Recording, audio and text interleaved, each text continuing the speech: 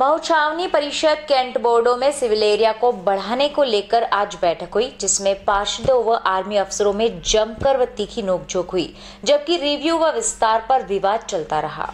महू में civil area बढ़ाने की वर्षों पुरानी मांग फिर से ज़ोर पकड़ रही है। इसका कारण यह है कि कैंट बोर्डो द्वारा बुधवार को सिविल एरिया बढ़ाने को लेकर बैठक हुई, जिसमें पार्षदों व आर्मी अफसरों में जमकर व तीखी नोकझोंक हुई, जबकि रिव्यू व विस्तार पर विवाद चलता रहा।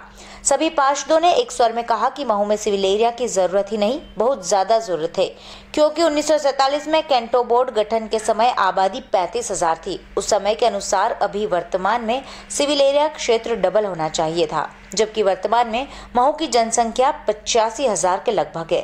बैठक में क्षेत्रीय सांसद सावित्री ठाकुर भी विशेष रूप से उपस्थित थी।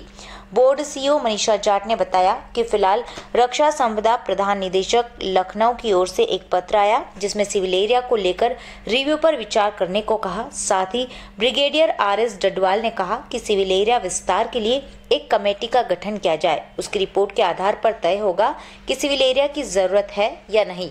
इस पर सिविल एरिया समिति गठित की गई, जिसमें सभी पार्षद, विधायक व सांसद सिविल से चार आर्मी के सदस्य कमेटी में हैं। पार्षद जितेंद्र शर्मा व मुजीब कुरेशी ने कहा कि जनसंख्या लगातार बढ़ी, लेकिन सिविल एरिया अभी तक नहीं बढ़ा।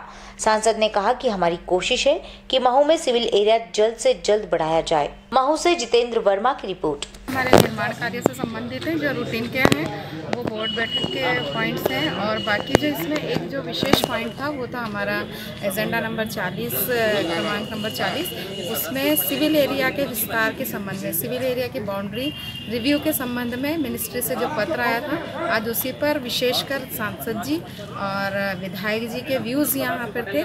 इस वजह से पहले उस पॉइंट को लेकर उस पर पूरे बोर्ड मेंबर्स ने बराबर डिस्कस की है और जनहित में जितना अच्छा हो सकता है सभी मेंबर्स ने बोर्ड के एक मत होकर अपने प्रस्ताव को अपने ज़ोर से अपने प्रस्ताव को रखा है कि इसको जल्दी ही सिविल विस्तार में लिया जाए। इसके एवज में एक कमेटी का यहाँ पर गठन हुआ है जो यहाँ पर ये देखी जाएगी कि कितनी आर्मी को ज़रूरत है और कितनी सिविल की ज़रूरत है और इसको किस तरीके से बढ़ाया जा सकता है। तो एक बाउंड्री रिव्यू का हम एक कमेटी बनी है उसके अंदर पूरा डिस्कस करके और वो प्रपोजल हम बोर्ड को देंगे। विषय में आपका कैलाश जी का दूसरा अब केंद्र सरकार ने एक लेटर भेजा है जो सिविल क्षेत्र है बढ़ाने वाला मामला है। तो उसको बढ़ाया जाए क्योंकि सरकार चाहती है कि जो जनता है, उसको हर चीज़ की बहुत सुविधाएँ मिलना चाहिए। और उसी को देखते मद्देनज़र रखते हुए कि क्योंकि हम मिलिट्री का भी क्षेत्र है तो यहाँ पर उनको भी सबको एक कमेटी बना के तेरह चौदह लोगों की, और वो रोज़ बैठ के थोड़ा इस पर एक्सप्लेन करेगी और देख के उसको कैसा बढ़ाया जाए और ये शासन को मैम क्या लगता है